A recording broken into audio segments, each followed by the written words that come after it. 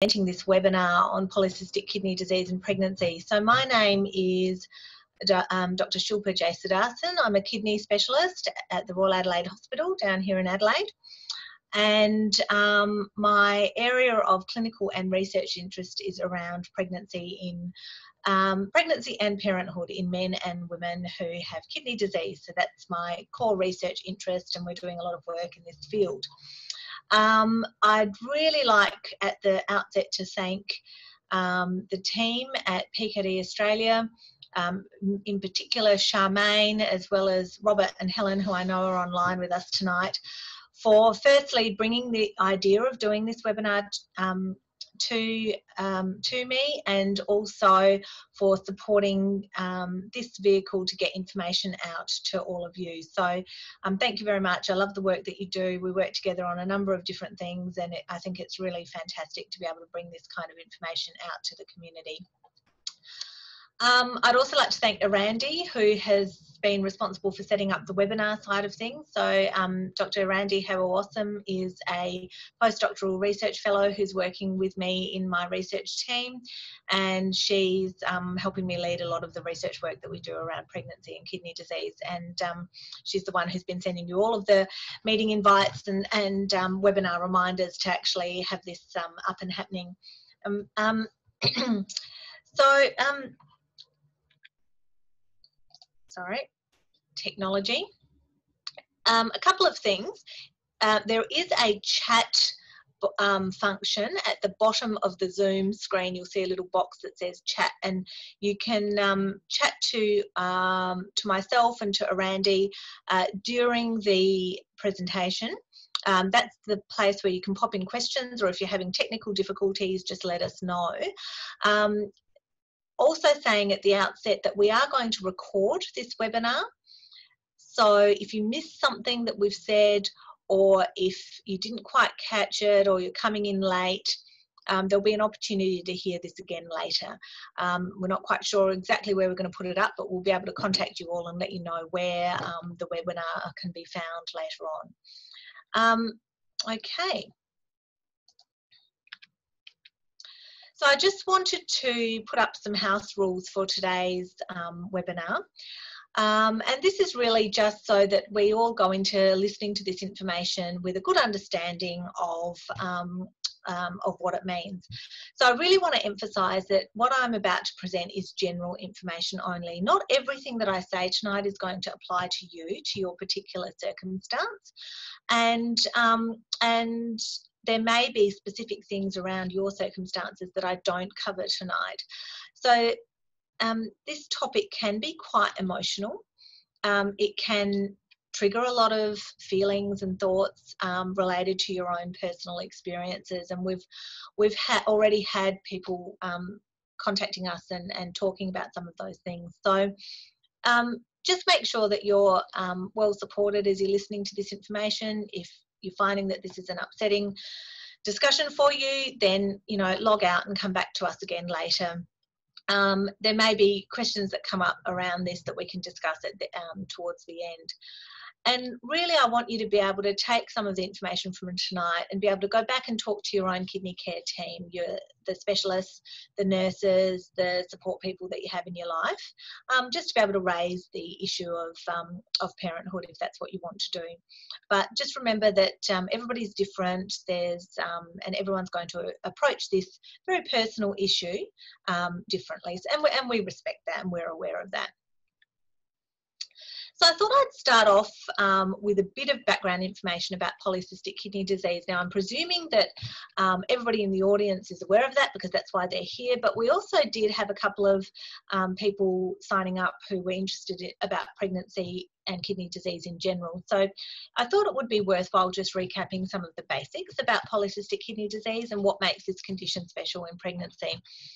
So we know that it's a genetic disorder that causes cysts to form on the kidney. And what you can see that here in these pictures is that a normal kidney is about 10 to 11 centimetres in size and it has a nice smooth outline.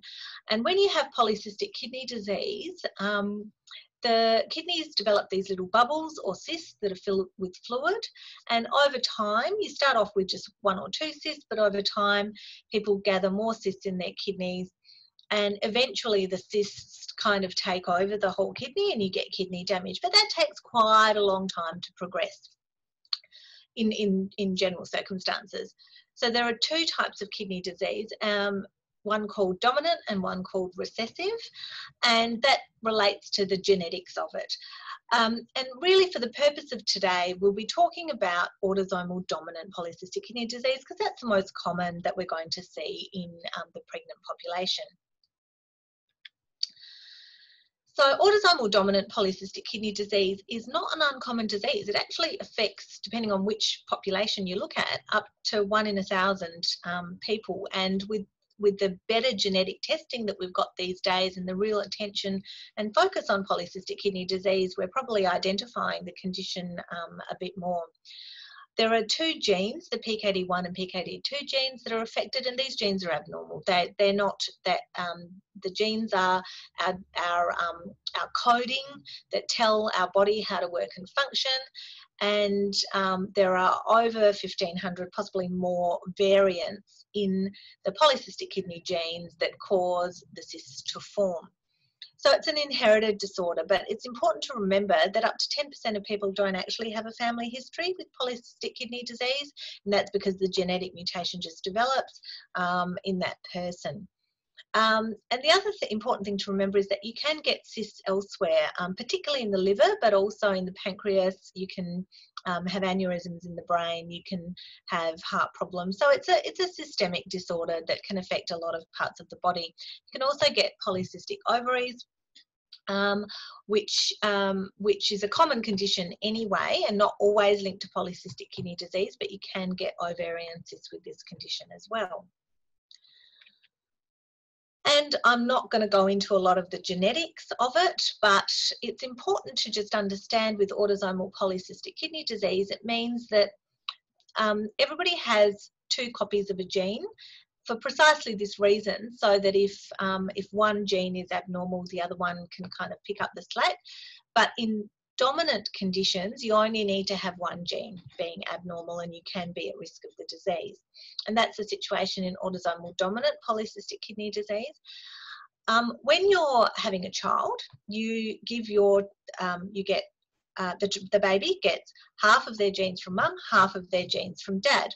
So a mum has a 50-50 chance of actually passing on the mutation to their offspring. And so there's a 50% chance of um, genetic transmission. And I guess that's one of the key things to remember as we're moving forward. It's also important to remember that um, with polycystic kidney disease, everyone gets this. Obviously, if you don't have this, you don't have the um, clinical manifestation of the disease. But not everybody gets kidney failure, and that's really important to remember. Um, a lot of patients with polycystic kidney disease will have no renal impairment or will just have um, a few cysts and not progress. And so a lot of the women that we see, um, or I see in my pregnancy counselling clinic, have got polycystic kidney disease, um, genetically diagnosed or diagnosed based on a few cysts, but actually otherwise have okay kidney function.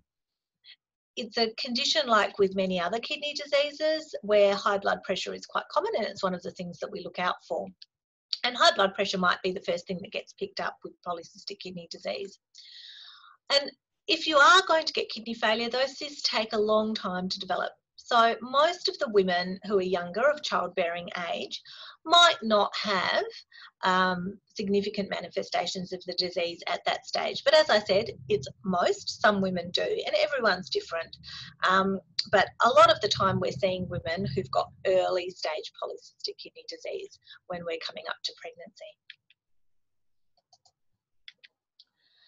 So that's just a bit about that background, and I could say a lot more on the topic of polycystic kidney disease, but um, there are some really great resources that you can find out there to learn more if you're wanting to do so. Obviously, PKD Australia have got fantastic um, information on their website.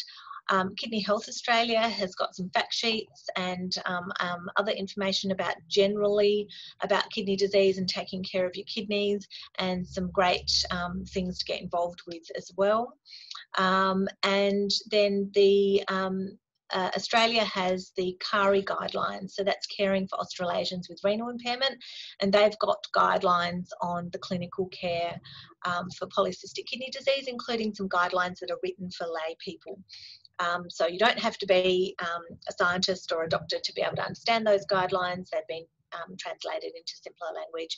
So that's a really great set of resources for you to learn a little bit more about polycystic kidney disease if you're not already aware of them, which I'm sure many of you are.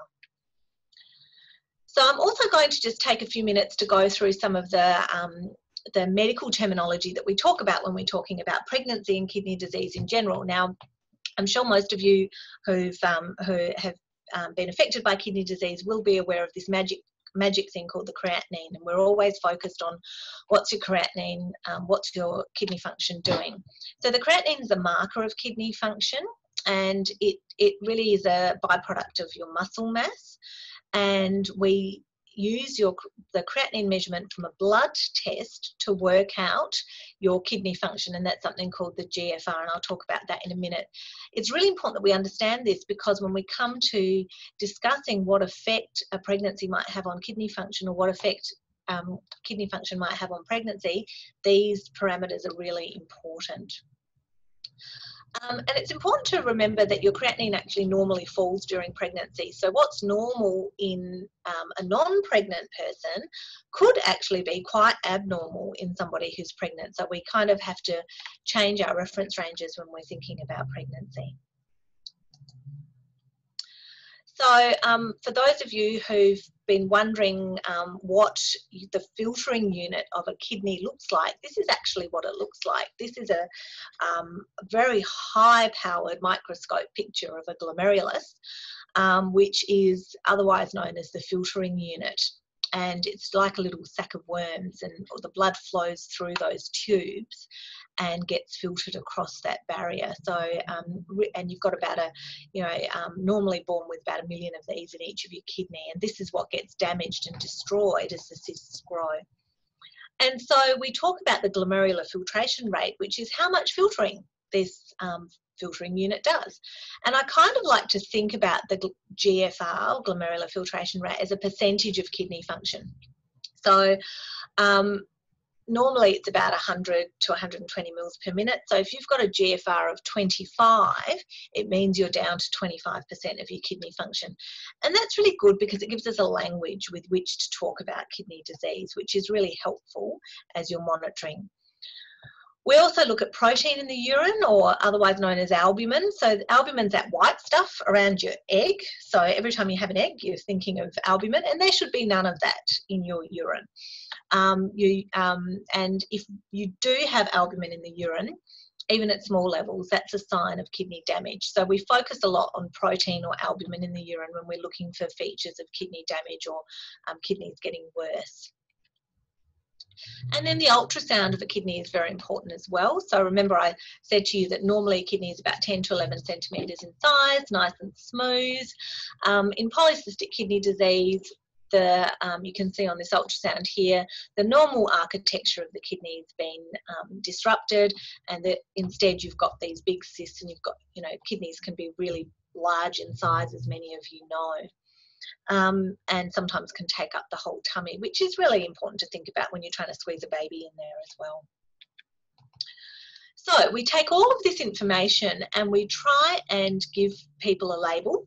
As doctors seem to love to label people. And we talk about the stages of chronic kidney disease, and that's stage one through to five. Stage one is really early disease, um, very, very minor or mild. Um, and it goes all the way through to stage five, which is really advanced kidney failure or people who are on dialysis or have had a transplant. And you'll see as we go on why that stage of kidney disease is um, um, is really important in, um, in pregnancy. So that's sort of a bit of the background info and I think armed with that knowledge we can move forward and now start talking more specifically about parenthood.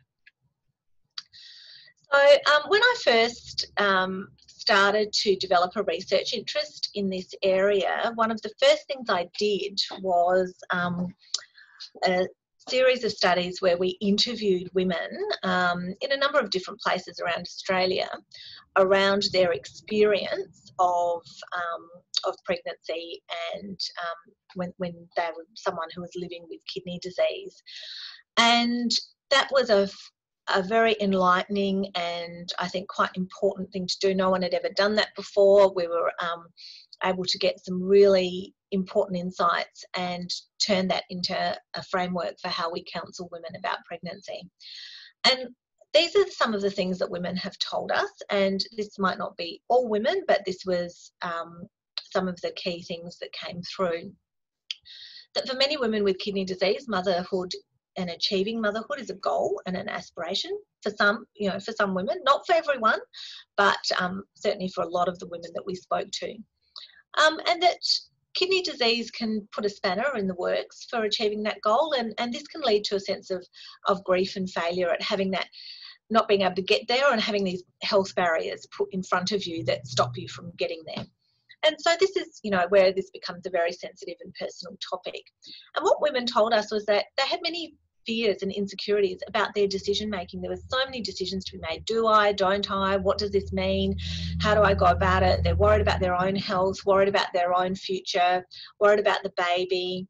Um, particularly women with transplants were worried about gambling with the transplant that they know was very precious. Um, and and so there's all this you know all this going on that really requires a lot of navigation and um, i'm sure many of you have had some of these feelings before but everyone's journey is different um, what we also heard absolutely loud and clear from these women that we spoke to was medical judgment, judgment from the medical team, um, doctors saying, no, no, no, you mustn't do this, you can't do that, I forbid you to do that, this is going to be a disaster, was very unhelpful. Um, and that what was helpful was hope and positivity and information and sharing that decision making, um, even if the end outcome was that a woman wasn't going to pursue a pregnancy or that they were, whatever the outcome, that sharing of information and taking that journey together was really important. So that that, that was um, an important lesson for us, and that's something that we've put into our counselling framework. So this is what that counselling framework looks like and it's about the patient at the centre of care and of that decision making process. Um, there's a lot of emphasis on preconception counselling and risk assessment and I'll be talking a bit about how we do that in a moment. Um, that for women who do want to go ahead and have a pregnancy that they need to have an individualised management plan. So it's not one size fits all. Um, in women with polycystic kidney disease, there's a very important role for genetic counselling, um, testing, and something called PGD or pre-implantation genetic diagnosis. And um, this is something I'll talk about um, a little bit later. We need to watch very closely for pregnancy related complications. We need to follow up very carefully afterwards and think about contraception at all stages and think about the psychosocial impact of all of this process on um, the woman, their partner, their family, um, uh, etc. And if you want to learn a little bit more about this, um, we have recently, just very recently, hot off the press, published a paper um, which is open access and available in the International Journal of Women's Health about pregnancy and polycystic kidney disease. So when I talk to women and when they come to my clinic, um, which I run at the Royal Adelaide, these are the main questions that they really want to know. If I get pregnant, what effect will my kidney disease have on the pregnancy? What effect will the pregnancy have on my kidney function? Um, you know, am I going to, is, is it going to be worse? Am I going to end up on dialysis? Am I hastening, um, you know, a decline in my kidney um, situation? Um, what will be the long-term effect on my baby and particularly around the inheritance of genetic kidney disease is really quite important. But also the medications and um, the, the overall effects of having um, maternal problems in the pregnancy. And and some of these questions I find actually quite hard to answer because we don't have the data to back it up. So that's what really motivates the research work that we're doing is to try and have really good information so we can answer these questions accurately.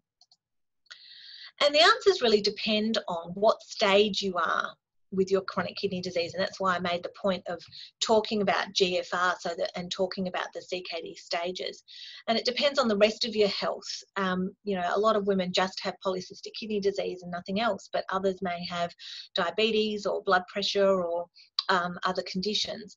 It depends on your social um, situation and what your personal perspectives and preferences are. And we know that people have a wide variety of views on pregnancy and um, kidney disease. Um, and it depends on who you've got supporting you your partners, your family, your friends, your workplace. So, like I said, this is um, not a one size fits all, and that's why you need to have tailored plans because no two women are alike.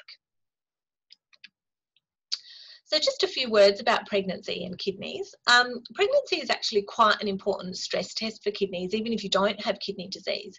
So very early on in pregnancy, even you know within the first trimester your heart is working harder you increase your blood volume so there's more blood flowing around the body you retain salt and water and your kidneys work about 50% harder even before some um, the end of the first trimester. So sometimes even before pregnancy is really diagnosed. And so, um, in women with normal kidney function, that's not a problem. The body adapts to these really huge changes. Um, but in women with kidney disease, you can imagine that that is that can be quite stressful and can stress out the kidneys. So we, we see the um, pregnancy as a bit of a stress test. And so when we're looking at what might lead to the pregnancy not going as well as um, um, as you might have if you didn't have kidney disease, which is you know um, um you know not a situation that you can really have control over. Um, these are the things that we look at, and the most important thing is the level of kidney function that you had before you go into the pregnancy. So, you know, we have to think about that EGFR and, and CKD stage. Then if you've got a lot of protein in the urine as a sign of kidney damage, if you have high blood pressure, if you have diabetes, and um, depending on what the cause of your kidney disease is, so polycystic kidney disease is one cause, there may be other causes. Um, so depend all of those things interact with each other to determine um, how your um, kidney function is going to um, to go. So just recapping, you know that these are the stages of kidney disease from one through to five, and um, this heat map kind of like tells us which are the, going to be the worst cases in pregnancy. Um, where if you've got lots and lots of protein in the urine and you've got um, a lower GFR, you're probably going to fall a little bit more in the zone of patients that we worry about more in pregnancy. And so this is a little slide that I use when I'm talking to women. And on the um, on the x-axis here, we've got your creatinine or your kidney function or your CKD stage, and then up here is your risk of having what we call an adverse outcome. So the pregnancy not going entirely to plan. And you can see that in the earlier stages of kidney disease, that risk is quite low. But as your kidney failure advances, that risk increases. And obviously, women with dialysis and um, a transplant and advanced kidney failure have got the highest risk of a pregnancy not going entirely to plan. So when we think about what might not go to plan, we worry about mum and we worry about baby. And in mum, we're worried about the kidney function going down either temporarily and then recovering or permanently um, and being coming out of the pregnancy with worse kidney function than when you went in. We worry about blood pressure and preeclampsia, and I'm going to talk about that in a moment. And then with the baby, we worry about the baby being lost early on. And we know that, you know, there's miscarriage is common in our um, in women in general, but in particularly in women with more advanced kidney disease, miscarriage is a little bit more common. Um, and we're also worried about the baby being born early, the baby not growing well, all because you know the mum's health is um, is not 100%. So these are the things that we worry about, and we worry more in women who've got worse kidney function. Um, but, but, and this is a really important but. Hang on. There is actually a good chance that your pregnancy is going to go well. So when we talk about, oh, there might be a 50% chance that your kidney function goes down, there's actually a 50% chance that it won't go down. So again, this is about how we present this information. It's not all doom and gloom. Um, if we can do careful planning and, um, you know, uh, make sure that we're not taking too many risks and that we're trying to address things as um, beforehand, there is actually a very good chance of having a good pregnancy outcome. And this is something that we're seeing more and more um, better pregnancy outcomes um, for women with kidney disease, which is really exciting. So, how do we approach management?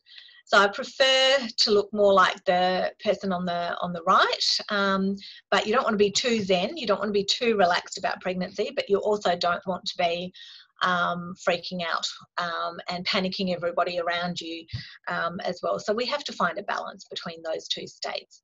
And the way we do that is by having a really, really good plan and a really good approach. So this is again from um, just an example of one of the frameworks for clinical care that I've developed. Um, I've got a couple of these going for, for managing women with kidney disease, and it looks complicated because it is. It's a lot of work. And not all of this will apply to every patient, and I'm not going to go through each of these, the, the whole algorithm, but it's actually about just actively thinking about what's important in pregnancy and um, um, planning ahead and doing as much planning as possible.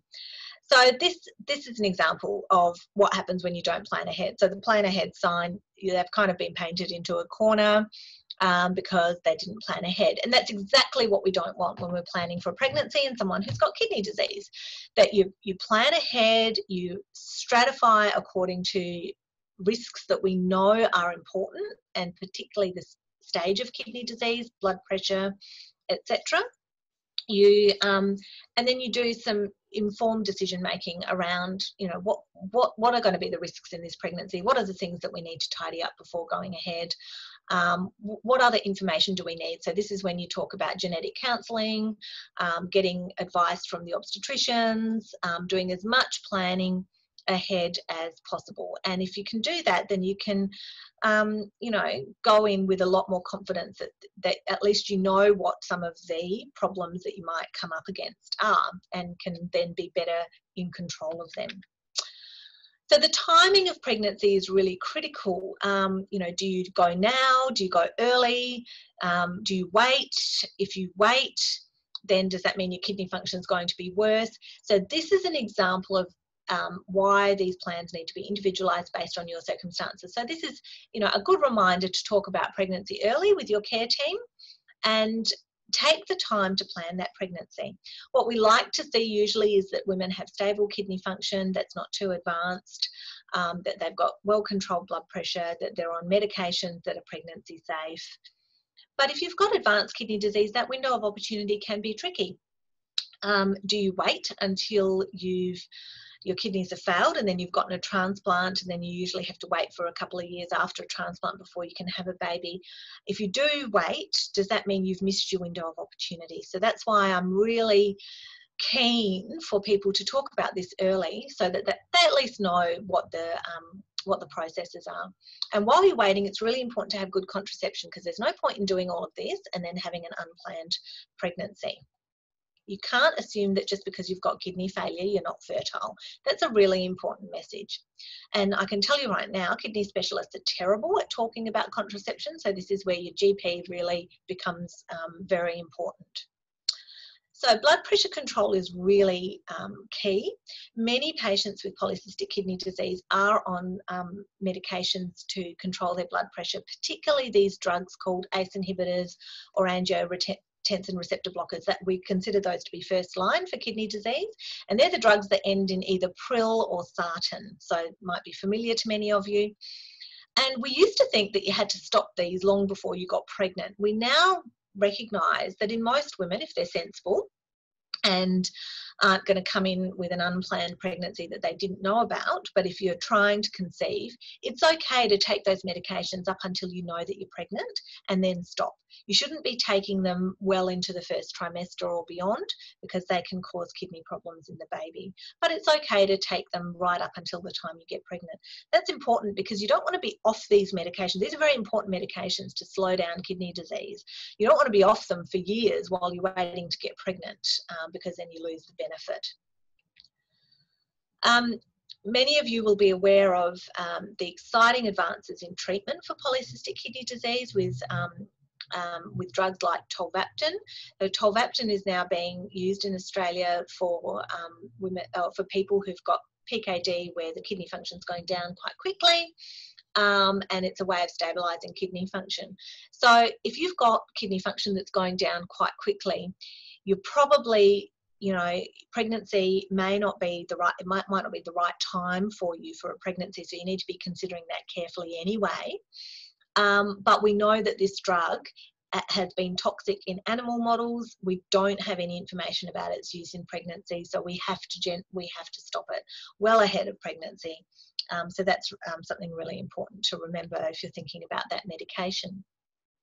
We've talked a bit about pre-implantation genetic diagnosis and now that we have this much broader ability to test for the polycystic kidney disease genes, um, we can actually, um, women can go through an IVF type procedure where the embryo can be tested for the gene, but you have to know what the gene is. So not all cases um, you'll be able to identify the gene, but if you can, then there is this approach that is possible where you can choose an un affected embryo to have implanted and then um, and then go from there.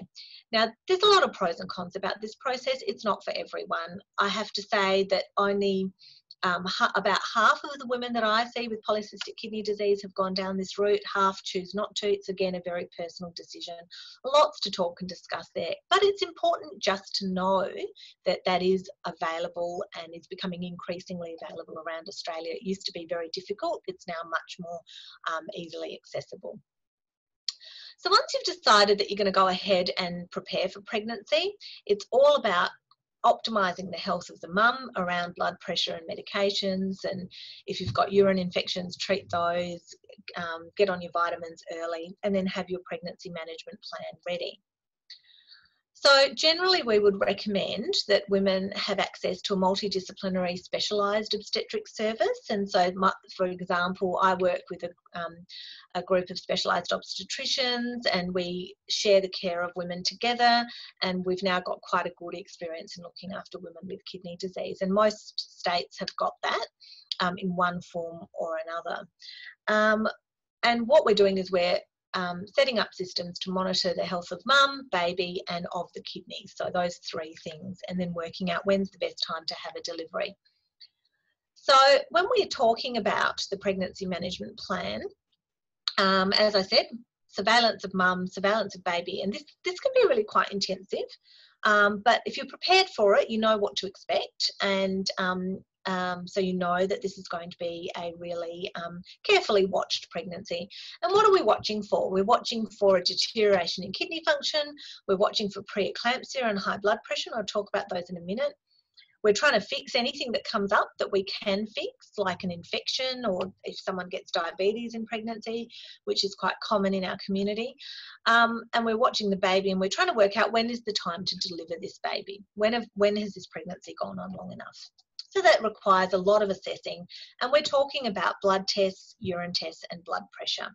So, and the frequency of this testing depends on your stage of kidney disease and your overall health. But as part of the pregnancy planning, this will be set up in advance that, okay, you know, um, we're going to be watching you this closely. Some women you can get away with just checking them once a tri- every trimester. Other women, monthly. I've got some women I'm checking them weekly. So it just depends on what your individual circumstances are. Blood pressure is something we really focus on. We, um, it's easy to do, so you can measure really quite often. And, and often I say to women, have a blood pressure machine at home um, and um, email me your, your BP readings. Um, we know that in pregnancy, we want to have it not too high, but we also don't want to go too low because then you're not getting enough blood flow to the placenta and the baby doesn't grow. So we don't need to overdo it. Um, and some people will need blood pressure medications to start in pregnancy if they're not on them already. And we're watching out for this thing called preeclampsia. And I could give a whole talk on preeclampsia and I won't, but it's just a really important medical problem in pregnancy. In women in the normal population, it occurs in about 2 to 10% of pregnancies, but in um, women with kidney disease, it can be really much more common than that, depending, um, even women with early stage kidney disease, the preeclampsia rate can be 20, 30%. and same for women with transplants. So this is where you get high blood pressure and then abnormal kidney function and protein in the urine, which doesn't sound any different to kidney disease. And in patients with kidney disease, it can actually be a bit hard to pick preeclampsia compared to kidney disease, and sometimes you don't know which is which. Um, it is hard to predict who's going to get preeclampsia. Um, in the general population, um, people have developed various blood tests and ultrasound tests to try and help diagnose it and prevent it, but none of them have really been validated in women with kidney disease, so they don't really quite apply. Um, and usually you can't treat it, you have to deliver the baby. So it's an important thing that we really look out for. The good news is that a simple treatment, um, aspirin, has been shown in women who are at high risk to really reduce the rate of preeclampsia. So we recommend that women go on aspirin um, fairly early um, after the first trimester, um, and we think it's relatively simple and safe and um, and and can be effective. It doesn't completely take away the risk of preeclampsia, but it's at least something that we can do. Um, what we do know is that not enough women with kidney disease actually get put on aspirin. It somehow seems to get forgotten. So we kind of have to remind clinicians that um, the aspirin is really important. Back and tummy pain um, is a problem in polycystic kidney disease anyway. Um, but when you're pregnant and you've already got a tummy that's full of cysts, either from the kidneys or liver, um, the baby, adding a baby in there can really um, um, cramp um, the abdominal cavity even more. Um, sometimes the kidneys and liver um, can stretch in size during pregnancy as all of the muscles relax, and um, that can cause pain. Um, and cysts can rupture and bleed and get infected, and all of that can cause pain as well. And just being pregnant increases your risk of urine infections just in normal women, and that's more so in women with polycystic kidney disease. So these are the things that we need to look out for. Um, and then there's a whole bunch of other things that cause tummy pain in pregnancy. So that can sometimes be a problem in our patients with PKD. Now, there's no reason that you can't have a normal delivery, and I've got a picture of the, the stalk here. For those of you who think that that's how it happens, I'm here to tell you that, that it's not. Um, but there's no reason why you can't have a normal delivery when you've got polycystic kidney disease. We don't recommend that you have to have a cesarean section just because you've got kidney disease. We should do cesarean sections or decide about delivery based on what the what the obstetric reasons are. Um, but sometimes, but we do see more cesarean sections in women with kidney disease, often because something's happened, mum's blood pressure's gone up quickly, or baby's not growing, and a decision is made to deliver quickly, and um, and that increases the rate of having an induction or a cesarean section. The other really important point to make is breastfeeding is absolutely fine. There's no reason not to breastfeed. Most medications that are safe in pregnancy are safe in breastfeeding. Um, and so, if that's what you want to do, you shouldn't be discouraged from doing that. So I'm going to just leave it there with some take home messages that um, pregnancy with polycystic kidney disease and indeed with any type of kidney disease can be successful and is possible with careful planning and care depending on your individual circumstances. And that might, might not be the case for every woman, but certainly something worth thinking about and working through with your care team if that's something that you want to pursue as a goal. Um, it's really important to think about parenthood planning as early as possible so that you're armed with the information that you need to help you make your decisions about your health. Um, and that, that risk assessment of what, what might, might a pregnancy look like for you, that needs to be individualised based on your situation. And really important to remember to keep that contraception happening while you're planning that pregnancy um, so that you don't get any surprises. Because I think the most dangerous and risky situation is not having a pregnancy with kidney disease or polycystic kidney disease, it's having an unplanned pregnancy where none of those things were put in place.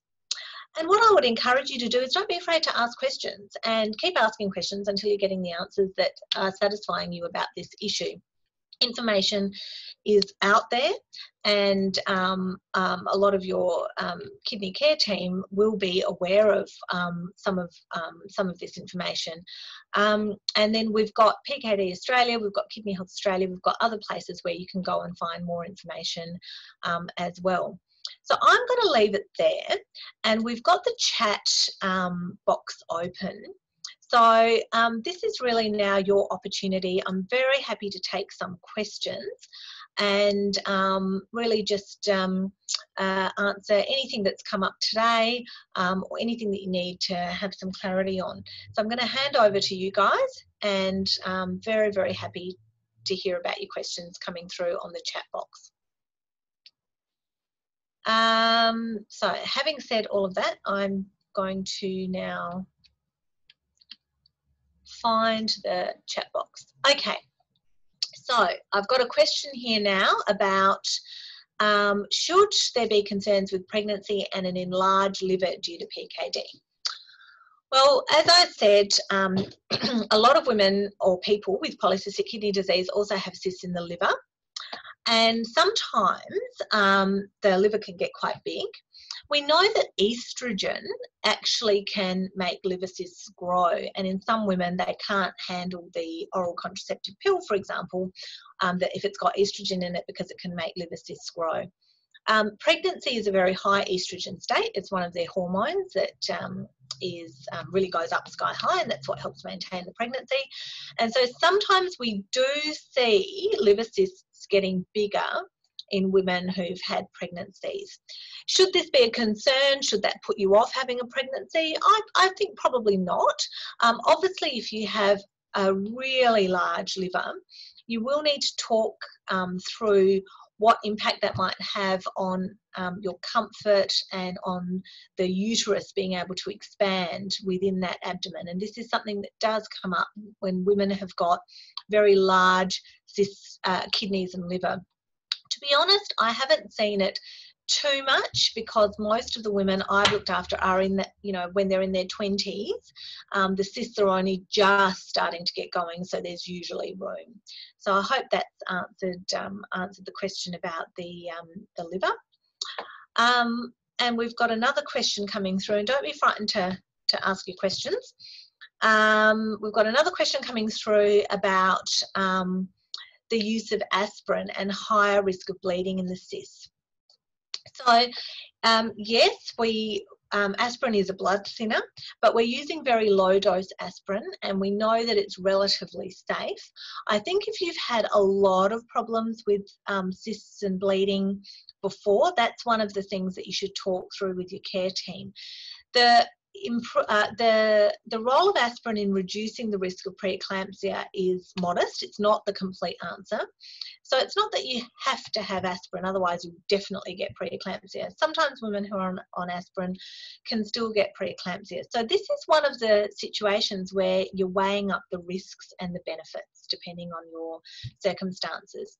Um, we usually would stop the aspirin around the um, third trim- end of the third trimester anyway, so we stop it for delivery. Um, and this is, um, you know, it's just one of those things that if you've never had a bleed in a cyst before and you go on low dose aspirin, you're probably going to be okay. But no one can guarantee um, those those outcomes, and it's it's balancing up risks versus benefits. Um, we've had another question um, about um, um, about the what happens when you're having your second child after your first um, pregnancy, and do you have you know does multiple pregnancies affect you? And this is a really great question, and it's something that I deal with um, quite a lot. So when I'm assessing a woman um, who's about to have a pregnancy or who's thinking about a pregnancy, one of the first questions I ask is, okay, what happened in your last pregnancy because that's very informative. If your last pregnancy went really well, then chances are your next pregnancy is going to be okay as well. Not always. And the, the reason that makes it not always is if you're a bit older, if your kidney function's a little bit worse than it was last time, um, maybe your blood pressure's not as well controlled or you're needing a bit more medication for your blood pressure or something's changed. So I think um, it it does depend on how you went with the last pregnancy and how you ended you know what happened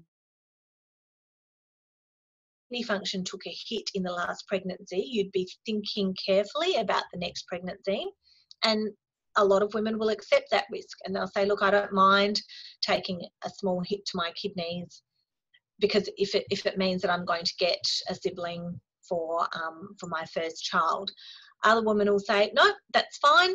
I've had enough and I, I, I want to, um, don't want to have another hit to my kidneys. Thank you. I'm happy to carry on. And I don't judge either way. either um, way is, is a personal decision for you and for that family. Having multiple pregnancies in and of itself uh, does not damage the kidneys. Um, you know, so women can have, you know, with normal kidneys can have heaps of pregnancies, and there's no clear evidence that really um, upsets things. Um, but I think it really depends on where your kidney function landed. If you can, I've, I've, had lots of women who've had two or three pregnancies and their kidney function has been absolutely fine, but they started off with really good kidney function. So that's important. Um, I've got another question about um, having a fistula in your arm. So for those of you who don't know what a fistula is, a fistula is a um, special blood vessel that we create in your arm that by connecting an artery and a vein.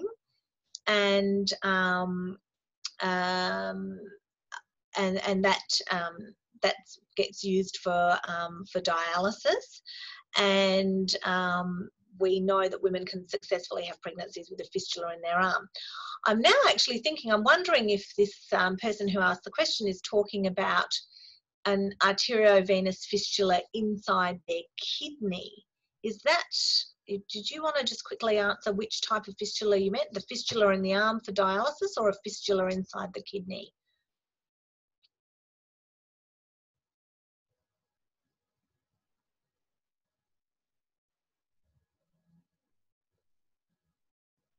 Oh, on the arm. Yeah. Okay. So I was, I, I got it right the first time. Um, yeah. So, um, in fact, we're actually, um, uh, Erandi and I are doing an international study at the moment where we're looking at outcomes of um, women from Canada and the UK and Australia about what happens with their fistulas during pregnancy. And they actually don't do too badly. And it won't increase the chance of getting preeclampsia. The main thing that's linked um, to your preeclampsia risk is your kidney function. Now, women who've had a fistula means that they've got pretty advanced kidney disease. Mostly, um, we would see women with a fistula in pregnancy if they've then had a transplant. Uh, we know that women who've had a transplant have got about a 30% risk of preeclampsia, but it's got nothing to do with the fistula. So I hope that answers um, answers that question. Um, I'm just having a further look now. Okay, another question. Um, so um, last week, so this is the question, I'll just read it out for everybody. Last week, Australia celebrated its 40th year of IVF. Do we have any research showing trends in people opting for IVF or surrogacy um, I'm presuming in kidney disease, what the policymakers are doing to support people with polycystic kidney disease for IVF procedures. So that's a really great question. I haven't seen any data on the use of IVF in women with kidney disease um, uh, in Australia, and um, but it is something that our research might hopefully uncover.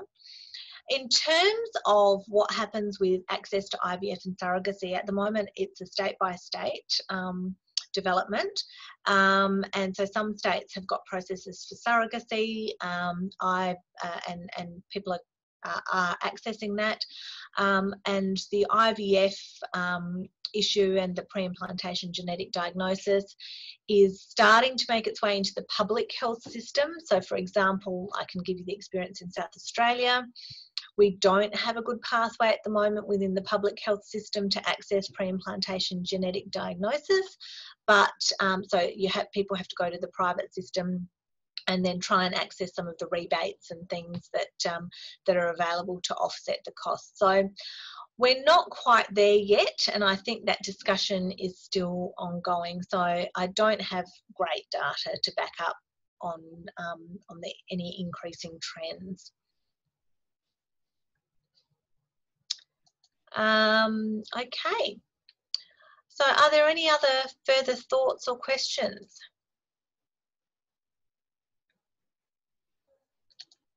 Um, just having another look now. Ah, so someone has said um, and I, I, always mention this actually, I always mention the fathers and say that we haven't forgotten about them. Someone's asked, not undermining the importance of polycystic kidney disease and pregnancy, I'm eager to get more information on fatherhood and kidney disease. So, and is there any research done in that area? So that's a really, that's a really good question. Um, my husband would tell me that the men are always forgotten. Um, I'm not um, and I think you know that's something that we're very careful um, to try not to do.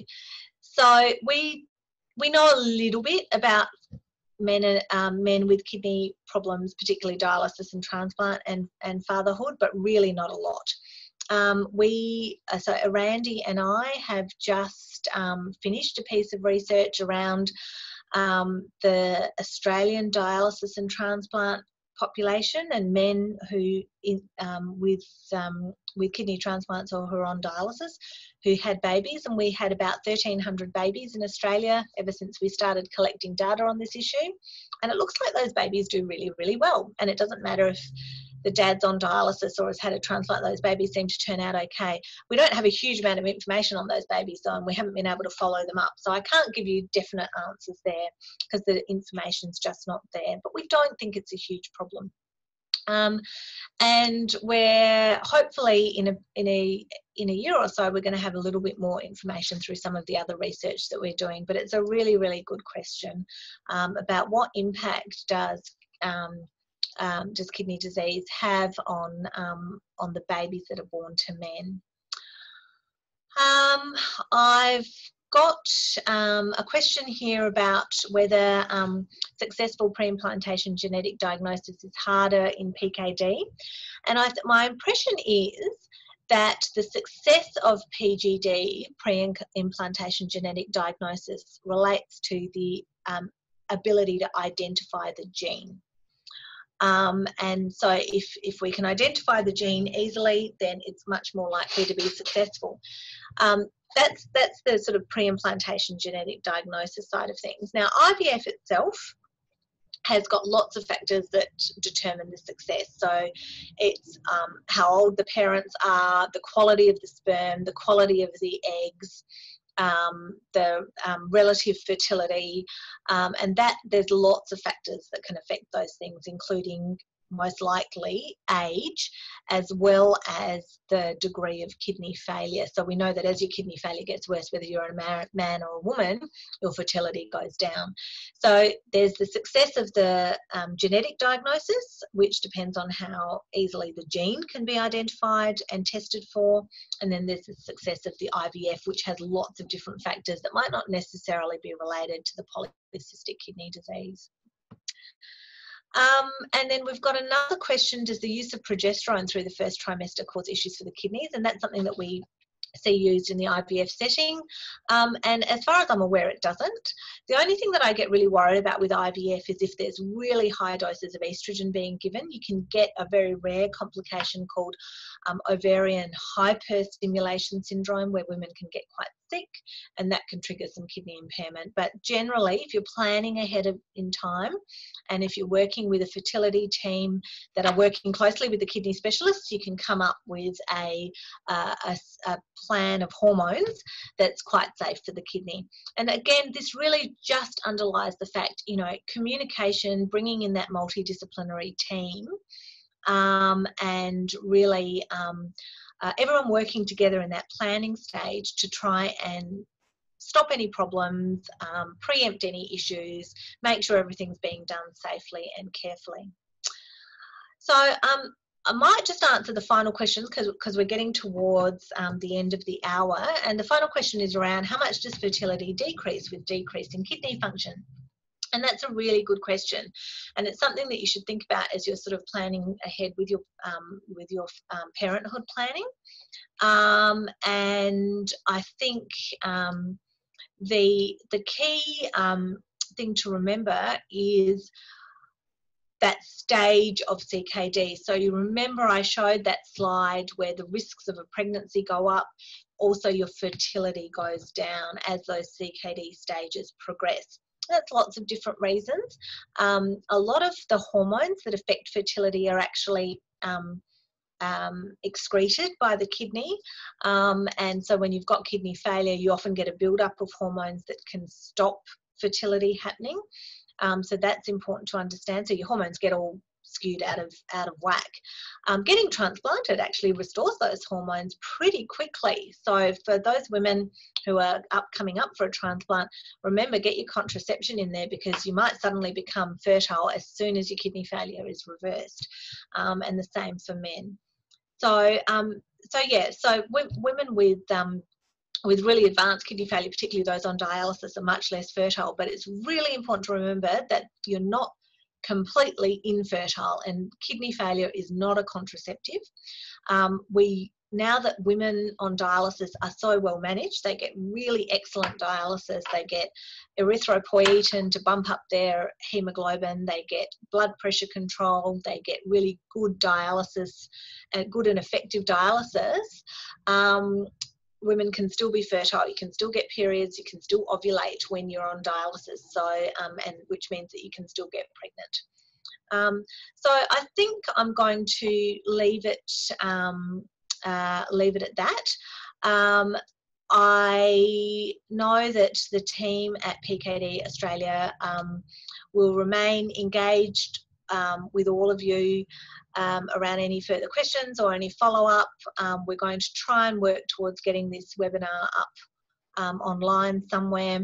Um, please stay abreast of the research work that we're doing and Charmaine from um, PKD Australia is, is one of the um, people who's really working with us very closely to bring the patient perspective to the um, uh, to all the research work that Erandi and I are doing. So love to keep in um, in contact and to share with you information as it comes to hand.